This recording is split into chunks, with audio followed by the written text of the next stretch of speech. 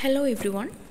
Uh, this is the video lecture for the subject cyber security and we can see one topic from the fourth unit. Um, actually the fourth unit is about intrusion detection. In this topic we can see one type of intrusion detection system that is host based intrusion detection system.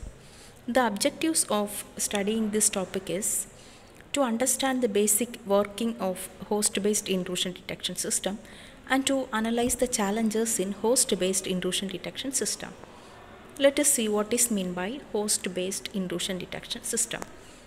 This is a kind of intrusion detection system which will be installed individually to the host.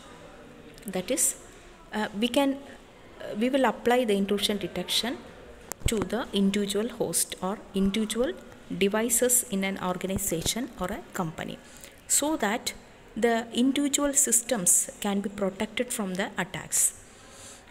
It is the type of cybersecurity solution that monitors IT systems for signs of suspicious activity to detect unusual behaviors or patterns associated either with human users or applications that could be a sign of a security breach or attempted attack. HIDS systems are so named because they operate on individual host systems.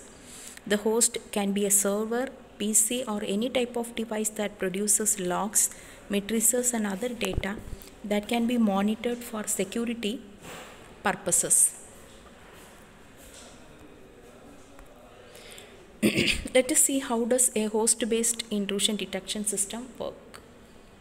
Host-based intrusion detection system first they will works by collecting data from the servers, computers, and any other host, then analyze the data for anomalies or suspicious activity. The data that HIDS tools analyze may include security centric data sources such as authentication logs.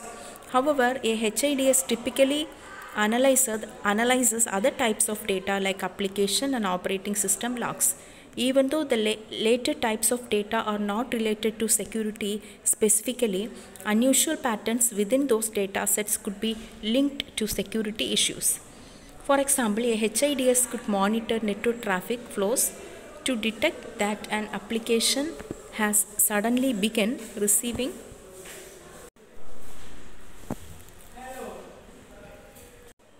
This activity could be the sign of a brute force login attempt or an effort to probe the application for vulnerabilities that attackers could exploit. Within this information, security teams could block the offending IP addresses. To deliver results that are as accurate as possible, HIDS should link and correlate different types of data sources, which make it possible to gain deeper context on potential security events this is the structure of how we are using HIDS. So we can see the HIDS have been installed to individual host. So as we told the host may be a system or server or any devices connected to the network. So HIDS is used to uh, protect the individual host. And there are two types of HIDS, agent based HIDS and agentless HIDS.